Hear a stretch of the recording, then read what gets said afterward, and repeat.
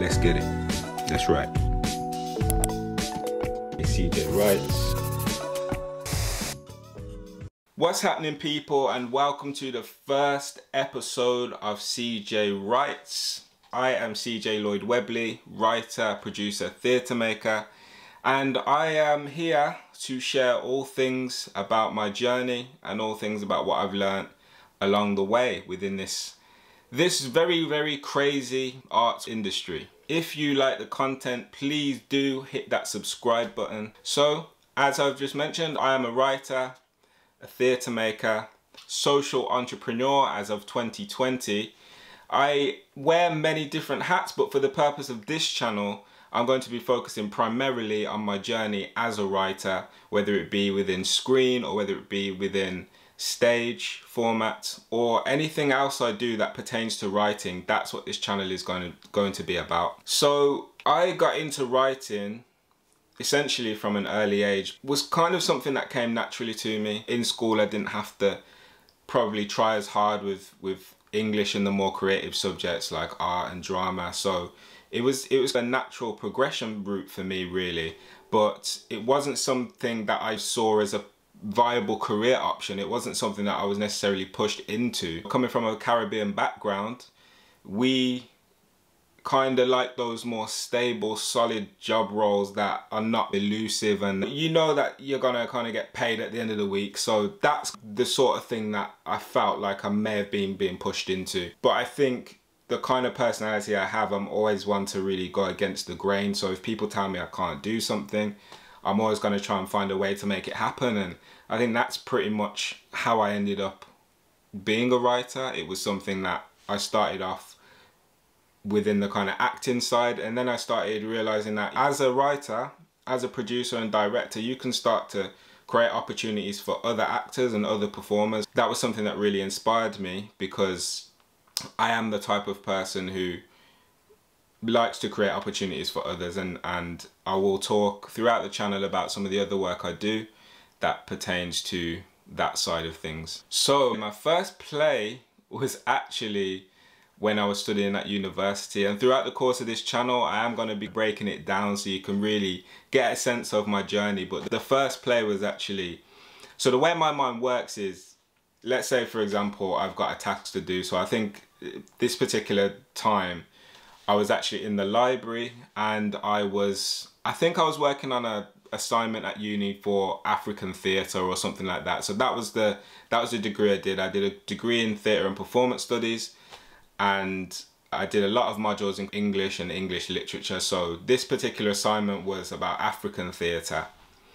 And the way my mind works is if something else is more pressing on my mind, I find it very difficult not to switch to that task. So I was in the library and I remember a cleaner walks past me and they had a bottle of white spirit on the trolley and I just thought to myself, hmm, white spirit, that's interesting for a cleaner to be walking around in a library with, with a bottle of white spirit.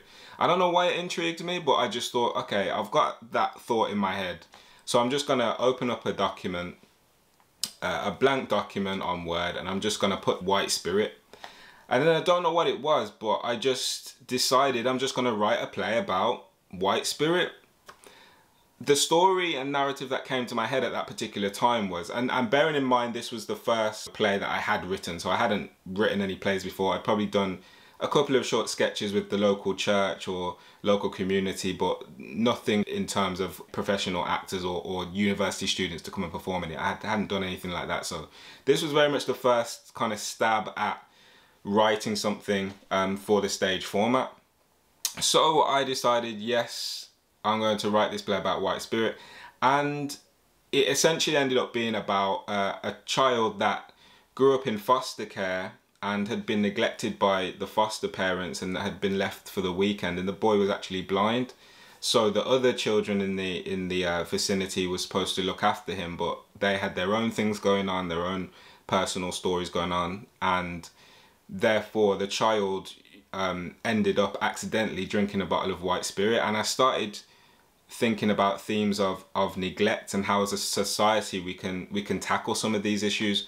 So i now know moving forward in as I've moved forward into the industry that it's very important to have a a passion for the subject you're writing about. I always really love to to think about the idea of why me? Why am I telling this story? Why now? And why this story? Why do I want to write this story in this current climate and in this particular day and age? So clearly at that particular time I was I was passionate about that narrative and that was what I decided to write and I realized at that point the the reason I did start to write was because the plays that were going on at that particular time I didn't feel like I wanted to perform in them. I just didn't feel like they were the stories for me. And so that was probably why I had the inclination at that moment to start writing my own plays. And it was really interesting because it ended up, so the play White Spirit ended up winning the Fresh Blood Award. And it was, it was a play that was chosen to be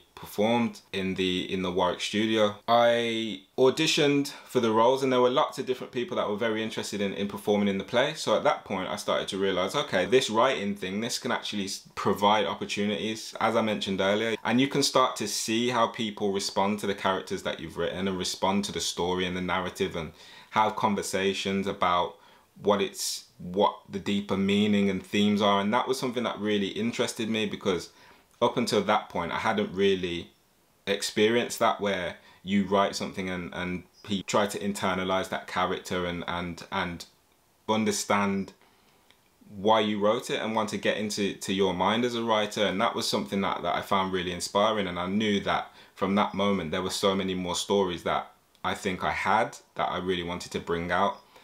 So that was really my first glimpse at at writing and, and actually having something performed on stage. Even though I've had plays produced and most of my experience is in that playwriting area, that stage play format, I consider myself a writer, broadly speaking, because in all other aspects of the work I do, I do very much rely on that writing ability. So whether it's writing proposals, whether it's writing blog posts or social media posts, it's it's all writing and I think in the future I may want to write a novel and, and I, I don't feel like I want to pigeonhole myself into just saying that I am a playwright. Like I I think that seeing your play on stage and seeing everything live and the audience responses and everything like that, that is something I'm really drawn to.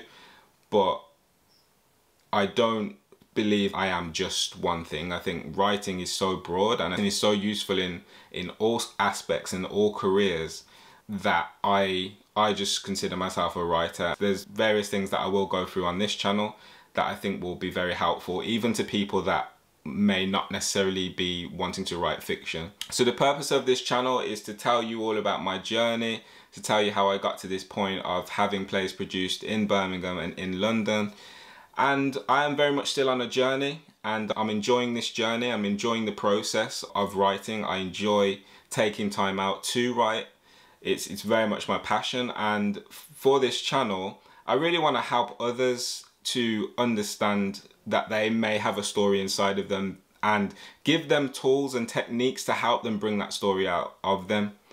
Also, I want this channel to be very informative, very relaxed. I want us to have a good time and, and I'm gonna, I've got so many funny stories about my experience or the, the, the kind of setbacks that I've had to go through and if my story can help others who may be going on a similar journey, that's what this channel is all about. So thank you for tuning in and I look forward to seeing you next time. And if you did enjoy this video, please do hit the like, subscribe button and comment in the section below because I'm sure you have a lot of questions and I'd love to answer them. So peace and love. I'll see you next time.